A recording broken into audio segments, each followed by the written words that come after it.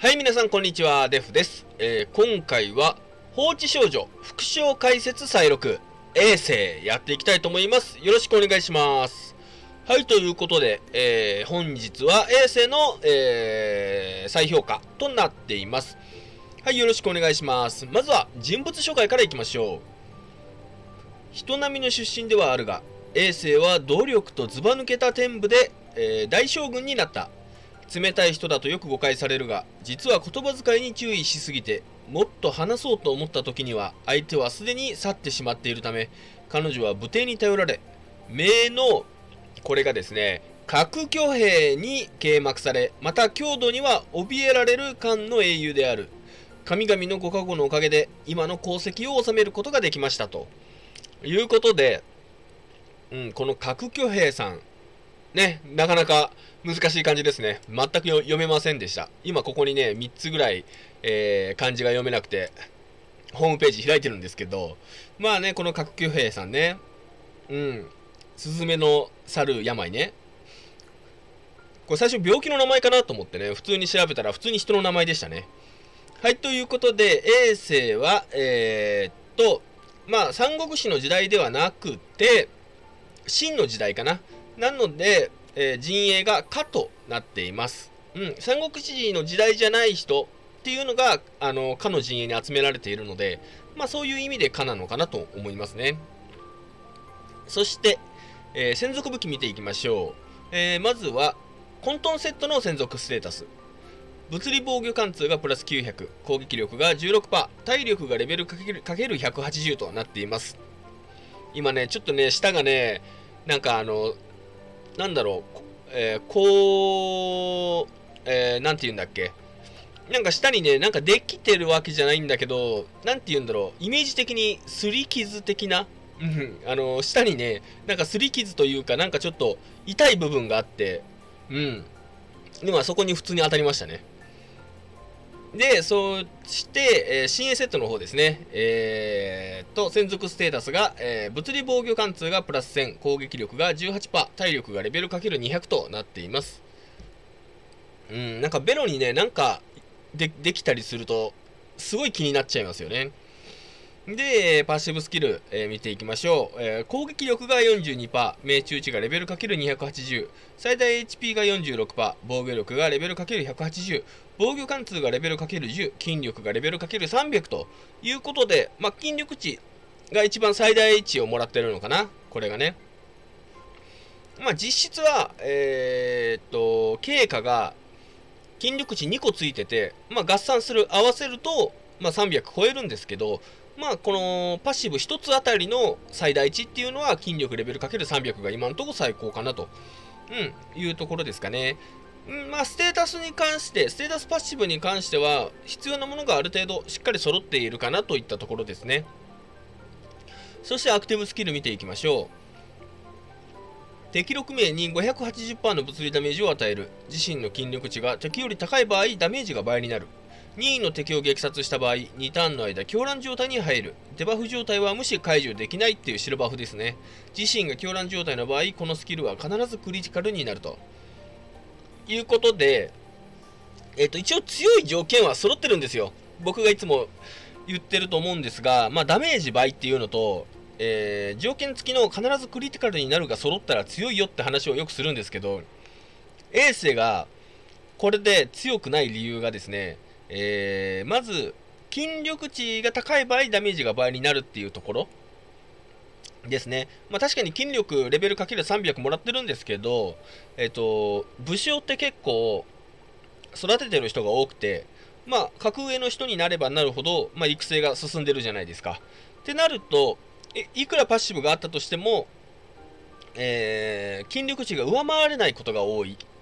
うん、っていうのと、えーあとはあれですね、敵を撃殺した場合、狂乱状態に入るっていうところ。うん、撃殺が条件っていうのはちょっと条件が厳しいですね。なので、狂乱状態の場合はクリティカルになるんですけど、この撃殺が取りにくいっていうところですよね。うん、格上相手に。で、どちらも格上相手にて、えー条件が揃いにくい、えーと、スキルとなってますので、まあ、どっちかっていうと格下相手に発揮できるタイプなのかなと思います。まあ、下手して、下手したら、格下の人でも、えー、短期特化で育成カンストしてる人とかいますからね。ってなると、やっぱりそこに、そこを相手にしたときに、このスキルは発動しにくくなっちゃいますよね、筋力値。うん。まあ逆に短期特化であれば、この敵を撃殺しやすいので、狂乱状態には入れるんですけど、ってなると、まあクリティカルしか取れないので、まあ580%のクリティカルっていうところですよね。うん。まあそれでもやっぱり1000、まあ200%とか、まあちょもうちょっと出るかなぐらい。なので、まあそれだとまあ、最近の新しい副将たちを見れば、まあ普通ぐらいかなといったところになっちゃいますね。やっぱ筋力値を上回ってダメージ倍、えー、撃殺取って、えー、クリティカル、クリティカルっていうところで、まあ、真の力を発揮できるので、まあ、なかなか条件が厳しいかなといったところになりますね。で、えー、次で、えー、スキルに行きましょう、えー、残り HP パーセンテージが最も低い敵4名に720%の物理ダメージを与える。自身が狂乱状態の場合、このスキルは必ずクリティカルになり、敵を撃殺するたび、狂乱状態のターン数がプラス1になるということで、まあ、敵4名の HP サーチですね。最も低い敵に、えー、720%の物理ダメージ。で、自分が狂乱状態の場合は、このスキルは必ずクリティカルになると。で、敵を撃殺するたびに狂乱状態のターン数をプラス1にするということで、まあ、今回は、まあ、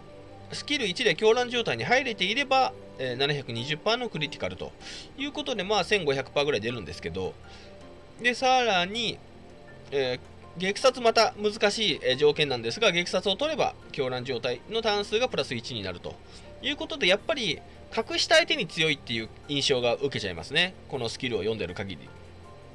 はい、ということで、衛星、えー、再評価していきましょう。えー、右下の、えー、前回ですね、もう半年以上前になるのかな、え評価した時はですね、まあ、戦場戦役 B、ボス B、お城の攻め B、お城の防衛が A、まあ、これは防御力と筋力値があるからってことなのかな。え、闘技場が B、え、短期特化おすすめ度が A となっています。うん。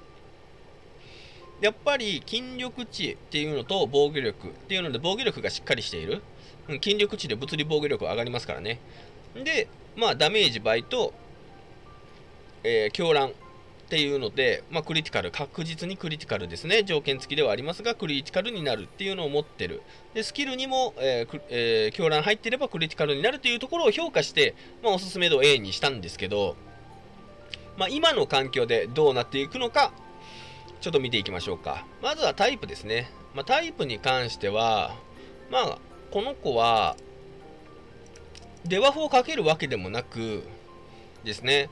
えー、ダメージ倍増条件付きクリティカルになってくるので、まあ、これはもうアタッカー以外ないでしょう。はい、ということで次いきます。えー、戦場戦役ですね。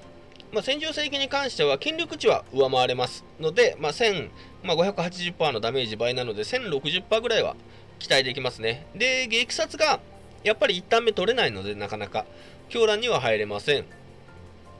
で、スキルには強乱に入っていないので720%っていうところで、まあ、ちょっと火力不足かなというところですね。うん、なので今の環境だと B になります。まあ多分この半年前の評価だと B プラスぐらいはついてるんじゃないかな。うん、だと思うんですが、まあここは B ですね。で、次が、えー、お城の攻めいきましょう。まあ、お城の攻めが多分一番活躍できるんじゃないかなと思うんですが、まあもちろん、えー、強い副将が、えー、全部強い強い副将が編成されているっていう舞台にはちょっと効かないんですが、やっぱり強い副将1人っていうのと弱い副将何人かっていう編成だと、これは狙い目ですよね。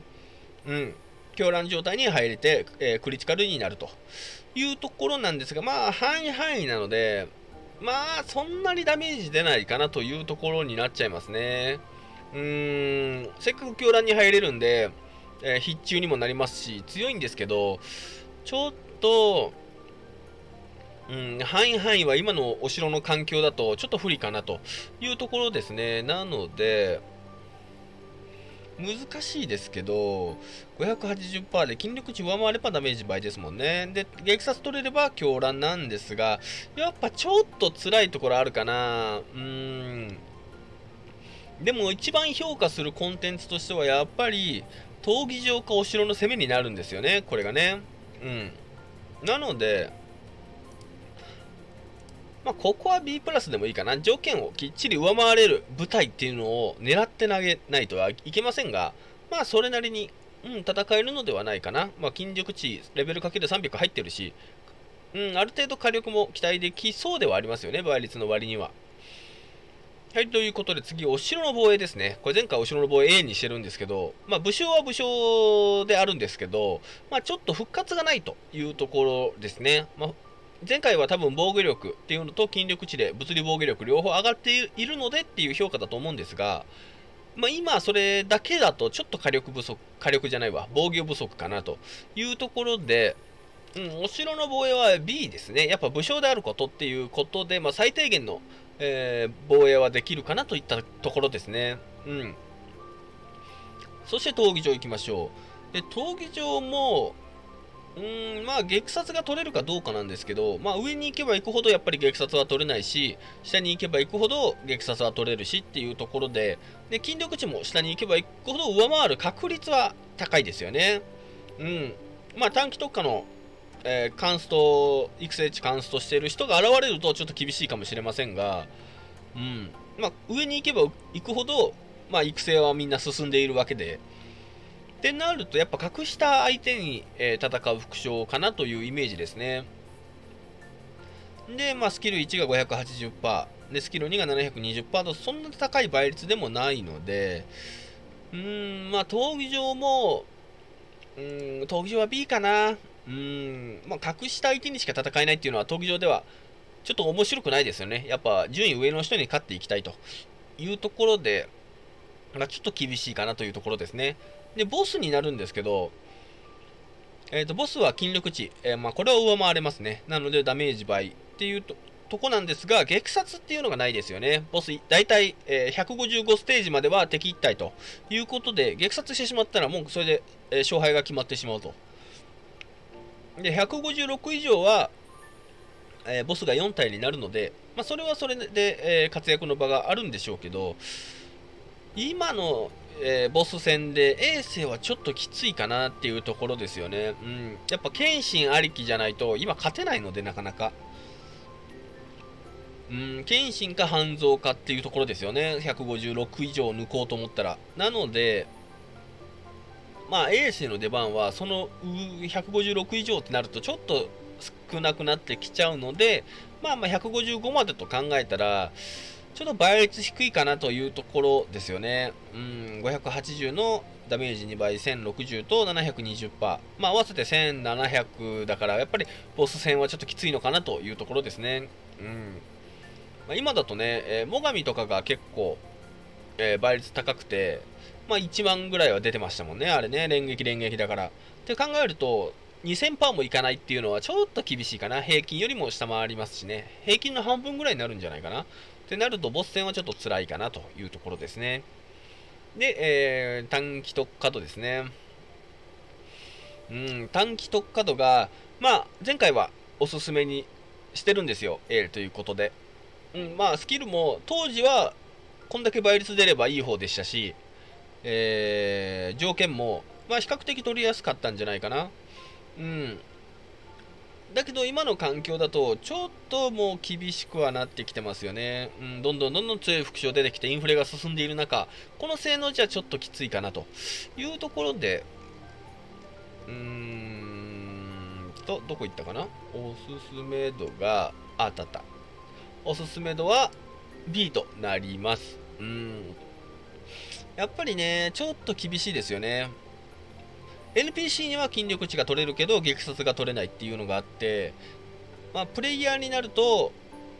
筋力値も取りにくくなり、撃殺も、えー、条件によっては取りにくくなるというところで、やっぱりちょっとね、厳しいですよね。持ってるものはいいんですけどね、ダメージ倍と必ずクリティカルになるっていうところで、強くなる条件っていうのは揃ってるんですけど、その条件を達するのが厳しいというところになります。はい、ということで、衛星ですね、えー、こんな感じになりました。まあ、まとめると、えー、半年前から、まあ、戦場、戦役は多分これ半年前のは B プラスなんですが、まあ、B とランクダウンして、ボスも B、まあ、おそらく B プラスぐらいついてたんじゃないかな。まあ、これが B ま。お城の攻めが、まあ、これも B プラスついてたと思いますが、まあ、それは変わらず B プラス。で、お城の防衛。防衛に関しては A から B ですね。まあ、復活がないと今はちょっと防衛には向かないので、ちょっと厳しいかなというところですね。で、えー、闘技場ですね。闘技場も、まあ、これは B プラスついてたと思うんですけど、まあ、今回は B にしています。で、ボスも、あ、ボスは言ったね。で、短期特化度が、まあ、A なんですが、まあ、今回は B とランクダウンさせています。やっぱりインフレにかなり飲まれた印象ですね。うん。あの、当時が、まあ、実装当時が、えー、オールラウンダ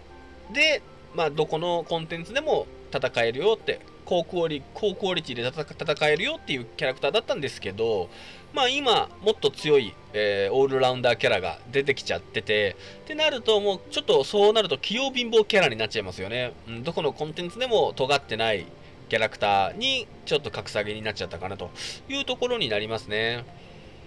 ただ、えー、衛星のいいところはですね、え、これですね、一番下の奥義。あー、今ちょっと見えないのかな？ちょっと消しますね。えー、っと、消して、これですね。一番下の奥義。えー、ちょっと虹が3つ絡んじゃってるんですけど、ダメージ反射12%。これが大きいですよね。うん。っていうのと、まあ、あと、このまだ、レアリティが判明して、あ、レアリティじゃないな。えー、副賞が判明してない虹4つの筋力レベル ×100。これが来ると、奥義かなりいいのが開きます。うん。で、物理会心ダメージもプラス9%ありますし、衛星のいいところは、今、奥義が非常にいいですね。まあ、あの、無課金さんとか、えー、美課金さんにはあんまり関係ない話だと思うんですけど、まあ、ハイ課金さんには、もうぜひ、この奥義のために衛星をお勧めしたいですね。はい、ということで、まあ、今回の衛星の再評価、この辺りになります。えー、チャンネルの登録、Twitter のフォローなど、ぜひよろしくお願いします。はい、ということで、ここまでお送りしたのはデフでした。おつでフ